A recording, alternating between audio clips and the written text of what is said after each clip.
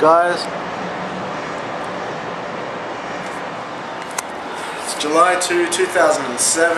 Um, as some of you know, about a week ago, uh, Caitlin, 15 years old, um, a girl was crossing the street in the city and she got hit by a car and unfortunately died. Now, some of you might know this, but Bella, she actually died in the hands of my partner, Bella. Um, Bella was crossing the road and she saw got hit, Caitlin got hit by a car, ran over, looked after the whole time until the paramedics came, but unfortunately passed away. Now, Bella crossed the street going up to a, restaurant in the city, Jojo's, and um, and sees another person get hit by a car. He was jaywalking across the street. Um, she checked his pulse to see if he was okay. Found out his uh, partner was a paramedic and just uh, moved on. But guys, fucking don't cross the street until the lights are green.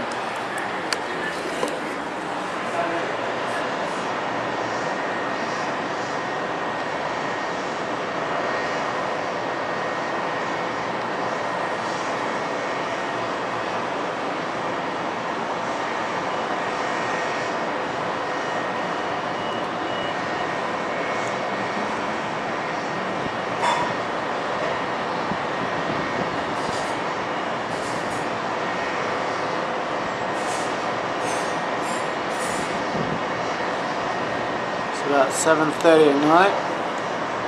This is the Myer Centre here. This is Albert Street here. So this is the city.